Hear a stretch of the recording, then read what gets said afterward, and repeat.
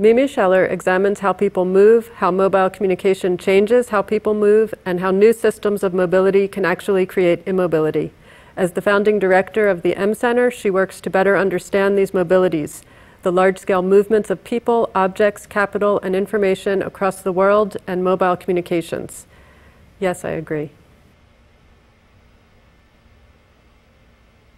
We've always been mobile, so there's a long history of mobility and it's changing now. So when people say we're more mobile now, I like to think that it's a combination of different kinds of mobility, but also immobility. So moving always involves um, rhythms or temporalities of pausing and moving. And I'm as interested in the stops and the moments in between movement, which are often when we um, access our mobile devices. And we switch between the screen and the outer world all the time. I think in um, cities there will be something like the digital divide will increasingly become a mobile divide, where those who have smartphones with certain apps will be able to participate in all sorts of things in new ways, especially um, augmented reality will bring a kind of screen of information directly accessible as you're sort of walking around and looking at things. Um, but the people who don't have a smartphone and don't have those apps, they'll, they'll be losing that whole layer of information.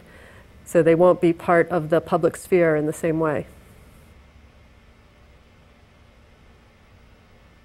Mobile digital life is urbanized, but the urban is no longer located just in the city. So what mobiles do is they spread the urban out, so it's a kind of connectivity and can be accessed in all different places. So you could be in a very remote part of the world and still access your urban connections and information and experiences from there. Being urbanized means that we have uh, mobile access wherever we are, so the urban is everywhere and everywhere the mobile goes, we take the urban with us. I don't think I would speak of a mobile revolution, but of a mobile transition. The idea of um, a mobile transition um, suggests that we live in a new kind of hybrid space which combines digital and physical realities together at the same time. So when we move through hybrid space, we're experiencing the location around us, but we're also able to experience a lot of information that's coming from afar and social networks that are distant.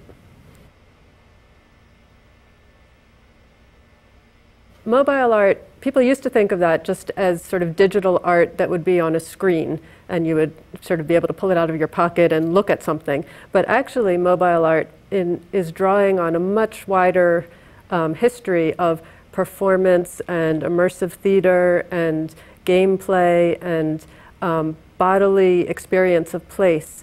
So mobile art actually intensifies our um, experience of location and kind of gives us a new way to perceive and understand where we are through mobile technology or in, in interacting with it. So I think there are two visions of the future of the mobile city. One is a very negative vision of a lot of surveillance, um, maybe automated highways and self-driving vehicles and uh, tracking of people, and it's um, kind of a scary governmental control of public space. But there's a much more positive vision, which is about a kind of democratization of um, interaction through mobile networks and that people could actually have more of a say and more participation in their own cities. Both the negative and positive developments of the mobile city are going to be happening at the same time. It's not one or the other, but that we can be politically aware of which ones we are supportive of and which ones we need to be careful of.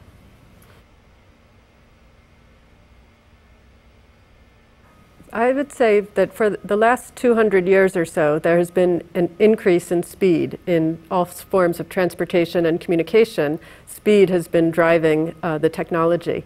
But I think that trend is um, starting to come to an end, and that we're more and more aware of the limits of our planetary resources and of the amount of energy that we use.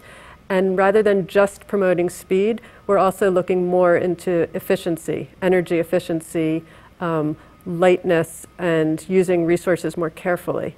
Um, so you could say that there's now an idea of limiting speed and of actually trying to substitute for high speed movement, instead, say, working from home or co working spaces in a, um, a, locality in a neighborhood rather than the long commute to a workplace. Um, and also using, being more careful about what kinds of transportation we use, making sure they're energy efficient, which sometimes means go slower. Um, and as I think people value slowness and also stillness, just staying still, we can start to sort of break the um, the assumption that mobility always equals freedom and that speed is always an increase of more freedom because it's not.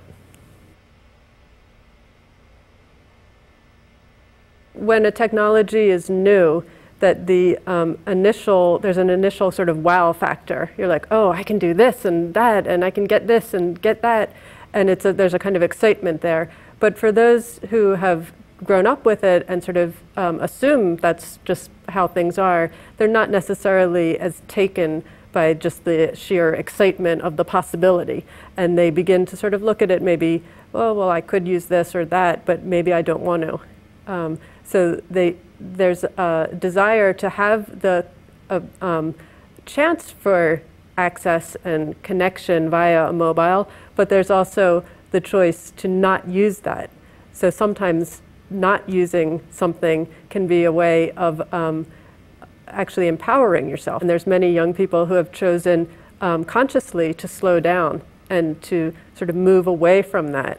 Um, so, for example, people um, are riding bikes more or walking to work, and some people are choosing to have sort of digital holidays, digital free holidays, where they um, have no connections or you know put the cell phone away put the mobile away for um, a weekend or something like that.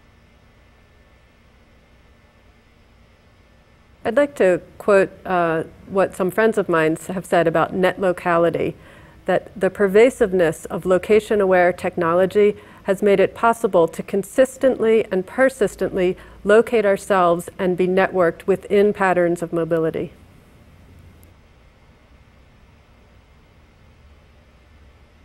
we are creating new ways of interacting with people, places, services, and screens while moving or while pausing in movement.